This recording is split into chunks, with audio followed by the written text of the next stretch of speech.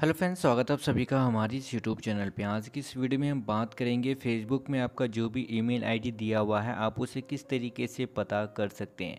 तो कहीं चलते हैं वीडियो को बिना किसी तरीके आगे क्यों ले जाते हुए। इसके लिए आपको फेसबुक ऐप को ओपन कर लेना है। तो क्या सब जैसे ही फेसबुक ऐप को ओपन करेंगे यहाँ पे आपको कुछ इस प्रकार का ऑप्शन खुल के आ जाएगा। सबसे ऊपर में आपका फेसबुक में जो भी प्रोफ़ाइल है इस पर आपको क्लिक कर देना है। फेसबुक वाली प्रोफ़ाइल पर क्लिक करने के बाद इस प्रकार का ऑप्शन खुल के आ जाएगा यहाँ पे आपको। यहाँ पे आपको एक ऑप्शन मिलेगा सेटिंग एंड प्राइवेसी का जैसे कि आप यहाँ पे देख सकते हैं तो यहाँ पे आपको इस वाले ऑप्शन पे क्लिक कर देना है। इस वाले ऑप्शन पे क्लिक करने के बाद यहाँ पे आपको सेटिंग का ऑप्शन मिलेगा जैसे कि आप यहाँ पे देख सकते हो तो सेटिंग वाले ऑप्शन पे क्लिक कर देना है। सेटिंग वाले ऑप्शन पे क्लिक करने के बाद कुछ इस प्रकार के ऑप्शन खुल के आ जाएगा जैसे कि आप यहाँ पे देख सकते हो। तो गैस यहाँ पे आपको थोड़ा सा नीचे की तरफ़ आ जाना है। गैस यहाँ पे आपको एक ऑप्शन मिलेगा प्रोफ़ाइल डिटेल्स का जैसे कि आप यहाँ पे देख सकते हो। तो गैस मैं आपको फेसबुक का ईमेल आईडी को दो तरीके से बताऊँगा। आप दोनों ही तरीके से ये पता कर सकते हो कि आपकी फेसबुक में कौन सी ईमेल आईडी अटैच है, ठीक है? तो गैस यहाँ पे आप जैसे सेटिंग वाले ऑप्शन पे क्लिक करेंगे एंड नीचे आएँगे ना, यहाँ पे आपको प्रोफ़ाइल डिटेल्स का एक ऑप्शन मिल जाएगा, जैसे कि आप यहाँ पे देख पा रहे होंगे।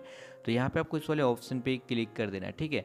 तो आप जैसे इस वाले ऑप्शन पे क्लिक करेंगे तो यहाँ पे आपको थोड़ा सा नीचे की तरफ़ आ जाना है। एंड गैस आप यहाँ पे जैसे ही नीचे की तरफ़ आएँगे ना तो यहाँ पे आपको अपना फ़ोन नंबर एंड आपके फेसबुक अकाउंट में कौन सा ईमेल आईडी अटैच है, कौन सा ईमेल आईडी है, वो भी यहाँ पे आपको देखने को मिल जाएगा। फ़िलहाल मैंने अपने ईमेल आईडी को यहाँ पे अपनी प्राइवेसी के लिए ब्लर कर रखा तो गैस ये तो रहा एक तरीका कि आप किस तरीके से अपने फेसबुक में लिंक ईमेल आईडी को पता कर सकते हैं। एंड उसके गैस हम यहाँ पे दूसरे तरीके को भी जान लेंगे तो इसके लिए हम यहाँ पे बैक हो जाएँगे। एंड गैस बैक होने के बाद आपको क्या करना है सबसे ऊपर में आ जाना है ठीक है? वही वाले ऑप्शन में आपको सबसे ऊपर में आ जाना है। यहाँ पे आपको एक ऑप्शन मिलेगा अकाउंट सेंटर का जैसे कि आप यहाँ पे देख पा रहे होंगे। एंड गैस यहाँ पे आपको इसी वाले ऑप्शन पे क्लिक कर देना ठीक है? तब जैसे इस वाले ऑप्शन पे क्लिक करेंगे तो यहाँ पे आपको थोड़ा सा नीचे की तरफ़ आ जाना है तो यहाँ पे आपको पर्सनल डिटेल्स का एक ऑप्शन मिल जाएगा, जैसे कि आप यहाँ देख पा रहे होंगे।